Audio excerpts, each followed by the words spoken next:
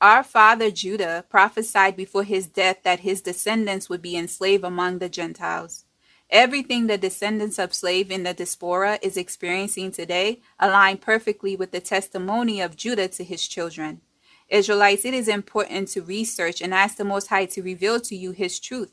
The truth is written in the words of the Most High. This is why so many of the writings from our ancestors were destroyed or hidden from us. There's no denying who the descendants of Judah are with a testimony like the one from Judah to his children written many years ago. There's only one group of people that match the prophecy to the children of Judah. The ones the world recognized as the tribe of Judah are not. Israelites, the impostors know they are not from the tribe of Judah. The impostors are trying to keep you from knowing and claiming what rightfully belongs to you. The Bible said they conspired against you to cut you off from being a nation.